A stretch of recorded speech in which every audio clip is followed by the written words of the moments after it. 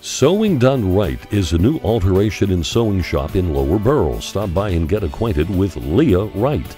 Alterations and tailoring for men, women, and children. Express alterations are possible and their pricing is competitive.